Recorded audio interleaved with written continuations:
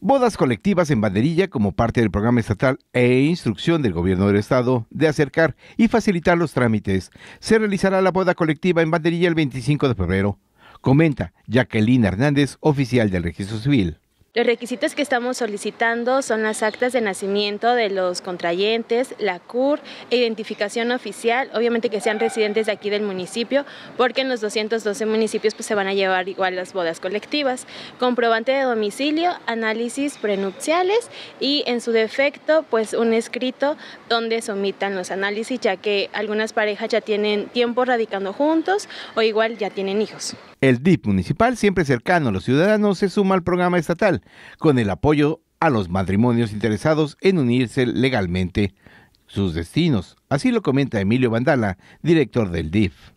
Que todos los ciudadanos banderillenses puedan eh, llevar a cabo este, pues, su boda colectiva eh, totalmente gratuita y bueno pues este eh, seguimos invitando a los banderillenses para que puedan tener su registro con la juez de registro civil, la licenciada Jacqueline. El aspecto legal que se da a la unión de los contrayentes, la Procuradora de la Defensa de las Niñas, Niños y Adolescentes en Banderilla comenta como coordinadora del evento.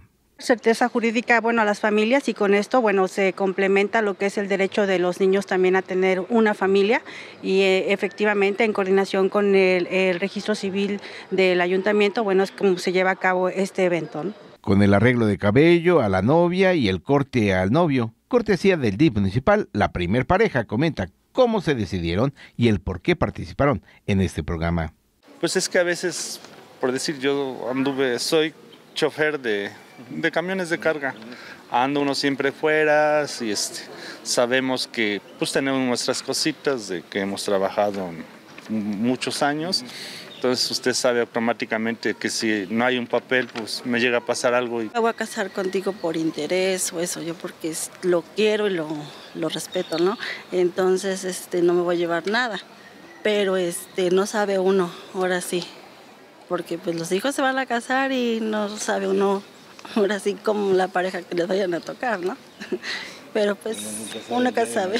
Recuerden los interesados que el formato de inscripción se obtiene en el registro civil de banderilla y el límite de entrega será el 15 de febrero. Luis Antonio Luna Ortega, RTV, más noticias.